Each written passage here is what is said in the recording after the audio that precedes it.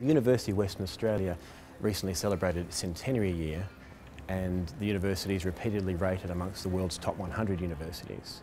The medical school here is one of the university's flagship professional degrees. We recently transitioned to a Bologna reformed MD program, which is now the world standard for um, higher education. Our university and our school is designated as a World Health Organisation collaborating centre for research and training in mental health, one of only a handful of places that has that designation.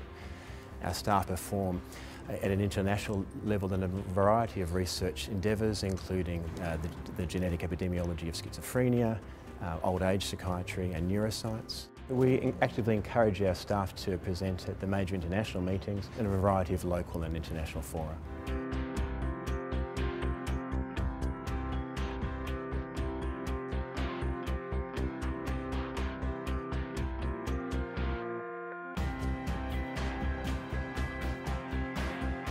We have an implant uh, which is uh, administered subcutaneously and delivers naltrexone uh, into the blood system over several months. And that, so that makes it several times longer than any other uh, product produced globally. We also have uh, ways of administering uh, which has a very short half-life, by infusion pumps uh, either subcutaneously or, intravenously, and we also have a polymer in an implant that will deliver that flumazenil. The way they've approached this in, in Western Australia is to make depots, to make uh, implants with the antagonist in that they put under the skin and then they slowly, uh, the antagonist slowly leaks out and gives us kind of consistent level of blockade that protects against the abuse of the drug but doesn't itself cause problems. And this is a very clever approach. And, uh, and what I'm working with them on now is trying to work out the appropriate dosing, particularly of the benzodiazepine antagonist, and try to use the techniques we have here at looking, of looking at brain imaging to measure what proportion of the receptors in the brain are blocked, and how then the, what the relationship is between the degree of blockade and the therapeutic benefit. And this is actually you know, very cutting edge research. No one else in the world is doing that. The people that would most benefit from this treatment uh, of naltrexone implant are the heroin users, uh, alcohol problem users, and problem amphetamine users. In relation to, to uh, flumazenil, it's really people who have benzodiazepine's, who have iatrogenic problems following ceasing benzodiazepine use, and more recently we've been looking at uh, idiopathic hypersomnia, and uh, then even more recently people were mopping up some of the symptoms to do with Parkinson's.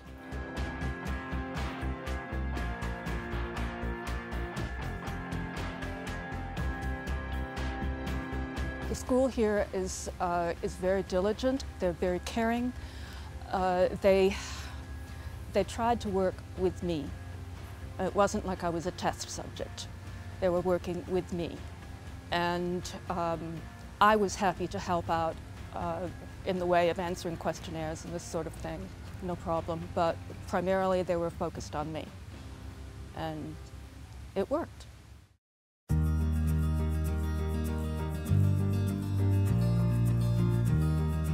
We have two main streams of studies.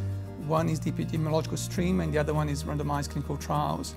The epidemiological stream attempts to identify factors that are potentially modifiable that we can use for interventions to see if by doing that we can change the outcome of participants at risk of the disease or who have a certain disease such as depression. For example, uh, we, we and others have shown that uh, physical inactivity increases the risk of cognitive decline and dementia as people get older. Uh, with that in, in, mind, we designed a randomized trial to see if by using a program of physical activity we could decrease the rate of cognitive decline in people at risk of dementia, uh, a group of people called people with mild cognitive impairments.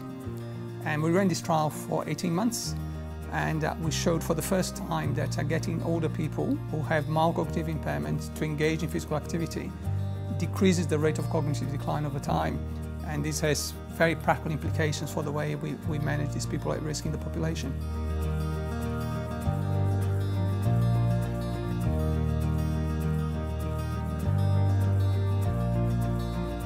I was interested in psychiatry as a discipline and I knew that, but the School of Psychiatry gave me every opportunity and all the support I needed to transform that interest into a passion and an ambition.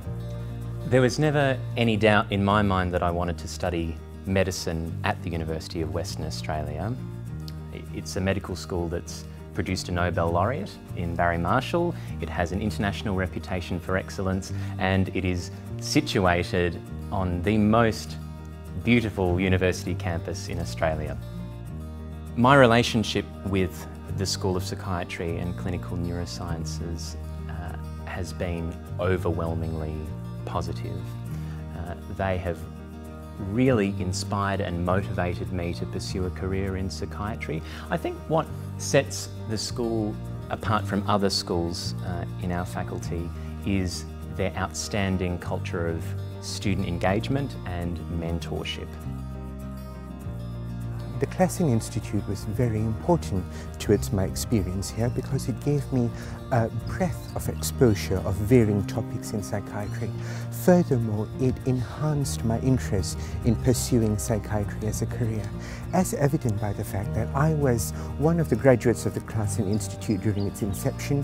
Now I'm a committee member of the organizing committee and I'll continue to participate in it.